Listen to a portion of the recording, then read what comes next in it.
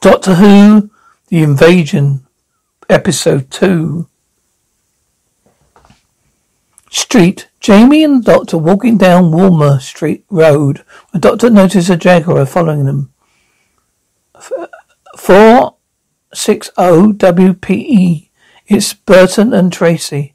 They start to run, lounge. Zoe still wearing the boa and holding a pose as Isabel takes an upward photograph. Isabel. Hold it now. Last one. Okay, you can relax.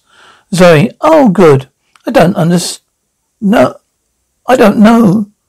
St- I didn't know standing still could still be exhausting. Isabel, would you like some coffee? Zoe, mm, please. How long have you have they been gone? Isabel, I don't know. About a couple of hours, I suppose. Zoe, I hope they're all right. Isabel, of course they are. Probably got themselves lost or something. What's so important about the, these uh, circuit things you're telling me about? Anyway, say, well, they're part of the, well, it's the sort of machine we travel in. Isabel, oh, you mean a sort of electric car? Zoe, well, it's a bit more sophisticated than that. Isabel, oh, well, anyway, I hope you're going to stick around for a bit. I got sick of photographing myself. Zoe, oh, why don't you, why don't you, you, you always use a model? Isabel can't afford it. I only got, just got about enough cash to buy all the junk. Need for the camera. It's expensive business. Well, I'm not good enough to be a professional yet. Zoe, well, I think you're very good. These photographs of you are splendid. Isabel, yeah, yeah, they're great, but I can't take them. I was just a model. I didn't take them. I was just a model. That's how I earned the loot to pay for all this. Zoe, oh, I see. Isabel, you're still worried about your two friends, aren't you? Zoe, yes, a bit. Isabel, they can't have got them, they can't have got themselves into any sort of trouble, can they? Say, oh, you don't say, you wouldn't say that if you knew them. If there's trouble to be found, the doctor and Jamie can't miss it. Street. The doctor and Jamie run down another street to find another Jaguar stopped in front of them. The men get out of the first car. Gets out of the first car as the, as the first car comes out, comes around the corner behind them, and Burton and Tracy get out. Jamie, well, what do we do now, Doctor? Doctor, accept the situation, Jamie. There's nothing else we can do. Doctor sits on the curb and starts dealing out playing cards. The four men walk up. Vaughan's office. A boffin is looking at a circuit board. Vaughan, well, for head research assistant Gregory, I expect a little, a little more coherent, applied and an, an epidemic, epidemic, shake of the head. Gregory, I'm sorry, Mr. Vaughan. I've never seen anything like these before. Given time, I might be able. Vaughan, then take time, my dear fellow. Gregory, right, Gregory, right, Mr. Vaughan. Vaughan, take one hour. Gregory leaves Vaughan. Use it. Gregory leaves. Vaughan uses the intercom. Vaughan? Park, Pack, Packer? Packer. On monitor. Yes, Mr. Vaughan. Vaughan, Packer. Those two invited guests we had this morning, I assume they were photographed. Packer, monitor. Yes, sir. Security cameras will have taken visual recordings, sir. Vaughan. Have some prints taken and sent up to me. Lounge. Isabel is playing uh, a 78 record of Teddy Bear's Picnic on a phonograph. Isabel, great, isn't it? I got to, I got it off a barrel in Portobello Road. I say, oh yes. Isabel, what's the matter? Don't you like it? Say, oh yes, it's fine. Isabel, you're still worried about your two friends, aren't you? Why? Sorry, I don't know. I just got this feeling that something's happened to them. Isabel, why on earth should it have? Sorry, no reason at all, really. It's not a logical conclusion, just intuition. Is it? Well, Isabel, well, I'll take you. I'll tell you what we'll do then. We'll go right out after them, okay? Sorry, oh yes, please, Isabel. We'd better take a note, make a, leave a note for them, just in case they come back when we're not here. Zoe, okay, Isabel, I'll go and get my coat first. Aeroplane. Jag drives across RAF Fairfield. Forward to, ha- to where a Hercules transport plane is lowering its access ramp. Military personnel put a pair of smaller ramps and it drives straight up and upboard.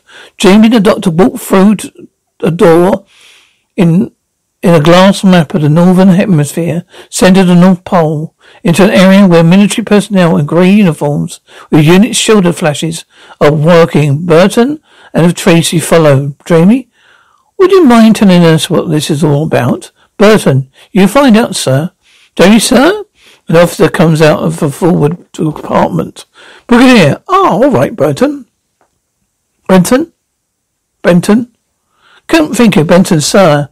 Tracy, R R R A A A F I break, sir. Brigadier, very well. Benton and Tracy Lee, Brigadier. How nice to see you again, Doctor. Doctor, it's Colonel Lethbridge Stewart. Brigadier, ah, oh, Brigadier now. I am gone up in the world. Jamie, of course, the Yetis. We met you in, uh, Brigadier, that's right, McGriffin. In the underground. must be four years ago. Jamie, that long? It only seems about a couple of weeks ago, doesn't it? Doctor, I told you over and over again, Jamie. Time is relative. Brigadier, are you still making a nuisance of it? Uh, are you still making a, a, non, non, a, non, non, a nonsense of it? Doctor, in your, what you could call it, TARDIS? Doctor, yes, we're still travelling, yes. Brigadier, yes, Mr. Travers told me all about it. It's well, it, it, to say the least, an unbelievable machine, Doctor. Any more unbelievable than the Yetis? Brigadier, no, true. I'm not quite so much a skeptic as I since that little S brigade.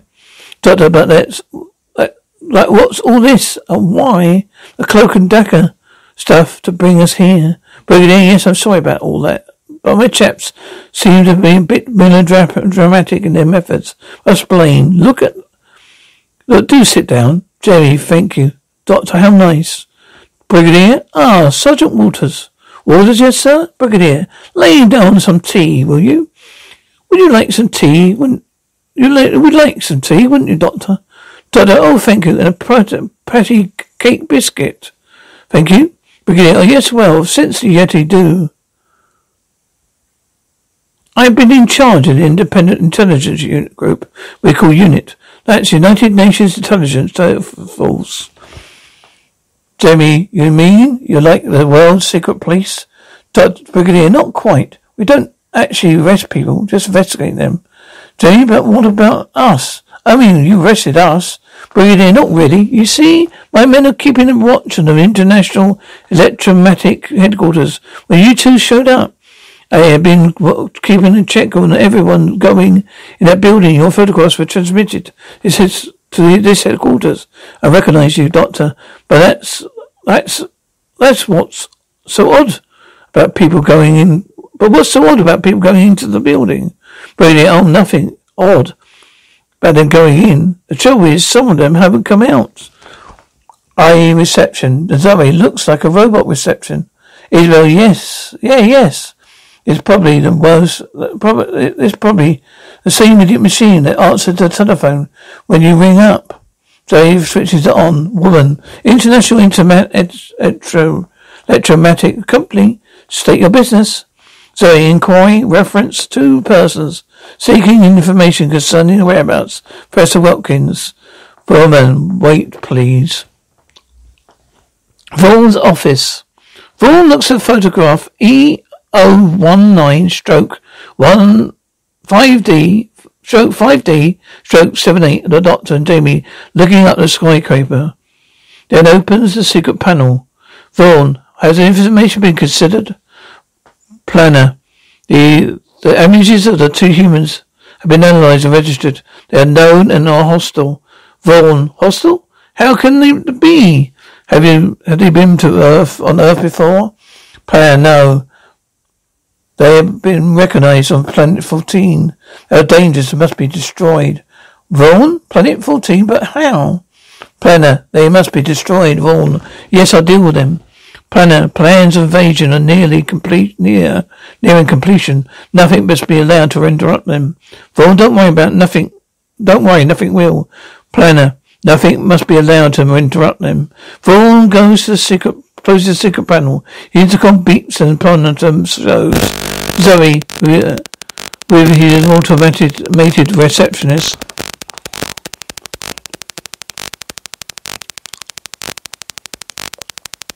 I.E. reception woman.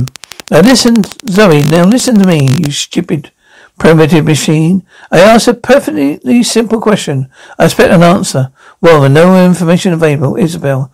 No good, Zoe. Zoe, I will not be beaten by this brainless tin box. Isabel, but you can't do anything about it. Zoe, can't I? A little problem in L A L G O L, I think. Isabel, in what? Zoe, A L G O L. It's the sort of language you talk to computers in. Now what? Zoe switches on the machine again. Woman, International inter- Electromagnetic, Matic, Electromatic Company, state your business. Zoe, begin real X sum positive. Delete square. Begin sum to subscribe subscript J. Uh, Isabel, that's L A L O Q O O. Zoe, Intriga, compute. Print out Y to minus seven. There's X. Variable one. I'm drawing this. Woman, International Electro. Zoe, go go to the finish. Complete integrate uh, the invazine. Smoke comes from the magnetic tapes. Isabel, it seems to be getting a little bit heated. Zoe, you bet this equation is uh, unsolvable. Isabel, yeah, Zoe, I think you ought to stand back. Zoe stands back from Isabel and tells and tells and tells the computer, Zoe, now continue print out continuous integration. The computer goes bang and Zoe Isabel laugh. Vaughn's machine. Vaughn is smiling too. Vaughn. Packer? Packer uh, appears on screen. Packer, I, a monitor. Yes, sir? Vaughn. Reception. Two young girls. Bring them to me. Packer on monitor. Right, Mr. Vaughn. IE reception. Isabel, I'll take, it'll take more than soldering iron. Put that right. Isabel, hey, don't, don't you think we better get out of here before somebody gets annoyed? Zoe, oh yes, I think you're right. Zoe and Isabel grabbed by black uniformed man, men at the door. Aeroplane. There's a series of overhead photographs on the table, on the map table. Brigadier, this is Gordon Jones, lecturer of physics, Churchill College, Cambridge. Next one's a chap I knew at Sandhurst. Old Billy Redridge. Got himself a very cushy number at the Ministry of Defence. Doctor, and all these people went in the building, the IE building, and never came out, didn't come out. Brigadier, oh no, no, no, most of them came out again. But there's something definitely odd about them when they did. Doctor, odd? Yes, old Billy Brunbridge, for instance, is quite corroborative of our investigation of Vaughan initially. But after he'd been to the WIA building, he started getting a bit sticky about it. Jerry, doc, Doctor, will you look at that one? Brigadier, do you, do you know this man? Doctor Jamie, Doctor Jamie, yes. Jamie, I, he gave us a lift in his lorry. Brigadier, when did you last see him, Jamie? This morning. Brigadier, this man's an agent of ours. His report is almost 12 hours overdue. Gee, oh well, we did, he did, we did say something about some security guards on his tail. Doctor, I expect that he's all, he's all right. He was, he was all, all right this morning when he, he left us. Brigadier, tell me more about this international, National Dramatic setup. Brigadier, oh, there isn't so much to tell. Head of the group was a man named Tobias Vaughan. Jamie, ah, yes. We met him, a, a nice man. He gave me this, Doctor. Oh, Jamie, don't. Brigadier, oh, yes. Yeah, that's just a small stuff. They control practically all the major computer lines. Doctor, put it away. Brigadier made their real breakthrough in micromonolithic circuit designs, undercutting practically everyone else in the market. Doctor, but what's your what what's your interest in this? Brigadier, well, I knew a little about Vaughan before his sudden success. I put it on a routine check on him. We came up with one or two things of interest. Jamie, late the disappearance of Professor Watkins. Brigadier, yes. Jamie, oh, I see. But uh, I see. I don't suppose you have any authority but to search the building. Have you, Brigadier? No, Varus. Vaughan's too powerful. He's got too many up top P on his side. You see, Doctor, I don't don't dare make a move unless it against him, unless I have good reason to do so. Doctor, well, it looks to me if it's if Jamie and I wanted to find the professor, we have to fi- find him uh, in our own way, Brigadier. That's about the sum of, of it. However, should you find yourself in, in difficulty, Sergeant Nature, Walters, Walters, yes, sir, Brigadier. Get an MTM-45 handy. Walters, yes, sir, right here. Doctor, is that a tank? Brigadier, oh no, no, it's unit, my units are constant alert. So, should you find yourself in any trouble, you can just give us a call, Doctor. Jolly good, Walters. Here you go, sir. Brigadier, thank you, Sarge. Brigadier, now the small, now this is a small receiver, about 50 miles at its frequency. Just press this button after me. Doctor, oh yes. Well, splendid. That's splendid. Well, yes, that's, this should come in very handy. Brigadier, call me if at any time. I'm usually available now. Now I better lay on transport for to get you back to London. Outside Trevor's house. No answer to the bell bell. Jamie, no. They must have gone out. But the front door opens as Jamie leans on it. Doctor, Zoe, Isabel, lounge. Jamie probably gone for a walk. Doctor, look, Jamie. Sandwiches. I'm hungry. Want, want one? Jamie, thank you. No, Doctor. That chap, Mr. Vaughan, didn't seem very, didn't seem such a bad man. Jamie turns on his radio on. Doctor, oh, Jamie, how can I think when you got that thing on? Doctor, Jamie, hey, the doctor sounds a little friendly. Doctor, all right, all right. Doctor, Jamie, don't break it. Doctor, all right, I want you to I want to take a look at that it. That's all. Yes, um, uh, uh, it's an interesting piece of Jamie. What? Doctor, well, well, what do we have here, Doctor Jamie? What do you mean? What do we have here? Doctor, there's that there's a microscopic circuit the back of this radio. Jamie, oh, well, what's that? Doctor, it's very complex and it's in about circuit minute.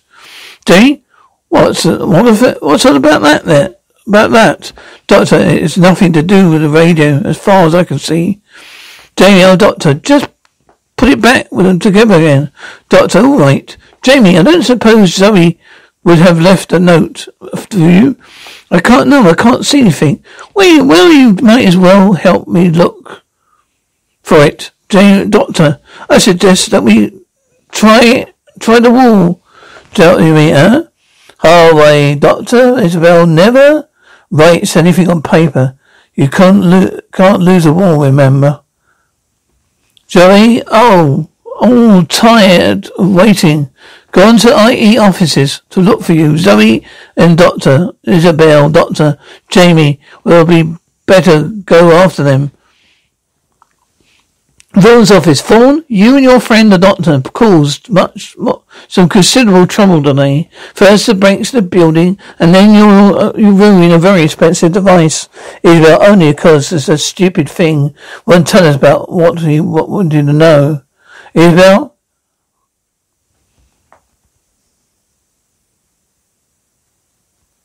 Isabel, only because the stupid thing didn't want wouldn't want to tell us what it wanted to know. Vaughan, oh yes, Miss Wilkins, you're concerned about your uncle, aren't you? Isabel, I'd like to know where he is, Vaughan. You're perfectly well, I assure you. Although a little uh, uncooperative at the moment, the vo- visit here is most op- is most opportune.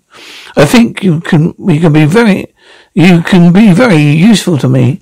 Isabel, me? But how? Vaughan, your uncle needs to persuade, persuade to continue his work for me. Isabel, but I can't do anything about that. Isabel, no, I can't, but I can, Packer. I'd like you to take care of these two young ladies, please. Packer, take them. Bodyguards take Zoe and Isabel out. Outside the building, Jamie starts the entrance up the entrance step, but the doctor beckons him to on down the side of the building. Jamie, I thought we were going to in there to look at for Zoe and Isabel. Da da da da. There's no one in, in there except those stupid computer. Those stupid computer. They won't even tell us anything, Jamie. But how are we going to find out what that? How are we going to find out that they are in there? Doctor, well, if the Brigadier's men are still around, they should have seen them, go. Hello? Man, unit to general operations now. Doctor, hello, could I speak to the brigadier? Man, stand by, stand by, out. Doctor, what a splendid toy, little toy this is, Jamie. Jamie, I, I don't, don't, but it doesn't play tunes like mine.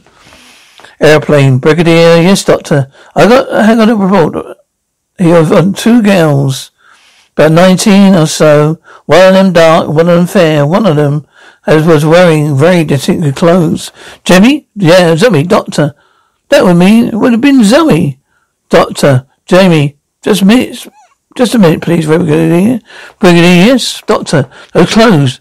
Do they include a rather brightly fe- coloured feather boa? Brigadier, yes, a little dark one was wearing that. They're, they're friends of yours, Doctor? Yes, I'm afraid they are. Doctor, Doc, Jamie, Doctor, come on. Let's get out uh, after them. Doctor, all right, all right, Jamie. Brigadier, we're going to try to get into that building and try and find them. Brigadier, well, yes, well, be careful. You may not be so lucky this time. Call me if you get into trouble. Doctor, thanks. Brigadier, right. Over and out. Is it wise to, to let them go in alone, sir? I mean, they don't exactly sound like a professional to me, Brigadier. Don't underestimate them, Jimmy. They may look like amateurs, but the man, that, but that man has credible knack of being one jump ahead of everyone. So if, if there's a safe way to a place, he'll be one to find it. Railway sidings. The Doctor and Jamie follow railway track in Park Royal, Guinness Brewery, really, and look through the chain link fence and black uniformed men freighted great carriages. Jamie, you're right, you know. This does not, does, doesn't lead into a, the back of the place. Doctor, yes, of course. Jamie, come on. They go through the gate into the siding of Power Proper. Vaughan's office. Jaggery, I'm sorry, but these circuits don't make sense. Material isn't known alloy, metal alloy. In fact, the structure is more than pla- metal plastic. What's more, the connections seem to be completely illogical. Vaughn, hmm, I am how very interesting. This strange doctor intrigues me more and more. Kurgan, I do not have, I do some tests on the circuits if you like, sir, but Norman, well, no, I think I know the answer, Gregory. You can go. Gregory, yes, sir. Gregory leaves of Vaughn. Opens the secret panel, Vaughn. I need more data about this man this, that you say you recognize. This doctor. Planet, it's enough that you know he's hostile. He must be destroyed. Vaughn, it's enough that you know. Vaughn, you said you recognize him as uh, on the planet 14. 14. How is this possible? Planner, the, these questions are unnecessary. He must be destroyed, Vaughn. That is for me to decide, planner. You obey, Vaughn. You forget you control the operations for Earth. Unless that's clearly understood, our partnership will cease. Tell that to your leader. Planner, it was it has been agreed. Vaughn, I felt sure you wouldn't be, be reasonable. Now, you, now you say you recognize this man on the front planet 14, recognize the doctor on planet 14. How did he get there? Werner, he was a, machine. Vaughn, what about, what sort of machine? Ravenna, we are no more, uh, we have no more information, but he must be destroyed. Evasion must succeed. Vaughn, it will. The doctor be taken care of, or I shall see to that personally. Warehouse. An eight foot metered metal door, metal container, with which looks like a bottle cap on both ends is carried and in and, and laid on the floor. There's lots more already stacked up. A doctor and Jimmy watching from behind a wall. Doctor, that's incredible. Do- Jimmy, what, Doctor? You see the ease with which they, that man carried that crate. Jimmy, probably empty. Doctor, let's see. Try and see. Go see. Their combined efforts. Do not move it. Jamie, the man must be superhuman. Superman, Doctor. Oh, it's odd, Jamie. It's distinctly odd. Jamie, there's something come, someone coming. they run back behind the wall. The man carries in another container, puts it down and leaves. Jamie, it's amazing. Doctor, yes. Come on, let's find Zoe and Isabel and get out of here. These fellows are giving me the creeps. Doctor, yes. Vaughn's office. The intercom is beeping. Vaughan, yes? Packer in on monitor. They're back again, Mr. Vaughan. A doctor and a boy. Stable security I picked them up in the warehouse. Vaughan. That's rather unfortunate for them, isn't it, Packer? Packer on monitor. Yes, I shall need for Kurt, for Kurt. Pecker. shall we put it on a full security alert on, sir? Vaughan, no, Pecker. We don't want to frighten them off, do we? Just close off the area, and we'll flush them out. Have you have you dealt with the young ladies yet? Packer on monitor. No, sir. I about to when you this new alert happened. Vaughan, now unfortunate. We need a sprite back to catch a medical. Take them down to the warehouse area. Warehouse, Jamie. This place is a maze. Doctor, I think we're lost, Doctor. There must be a door to the main de- building somewhere. Screams Jamie. Zoe and Isabel, come on. Two warehousemen in overalls carry the unconscious Zoe and Isabel up to a container. Packer, right. Put them inside. The container lid is shut with a piece of feather boa stuck out. Packer, load it into the, the into the return van. Jamie, come on, doctor. No, wait, Jamie, wait. Jamie tackles Packer from behind. Packer, guards, guards. Doctor, the guards, come on. Pack, Doctor and Jamie run around the walls. But as he's cornered by the armed guard and back to, brought back to Packer, who draws his pistol. Pistol, pecker like rats in a trap.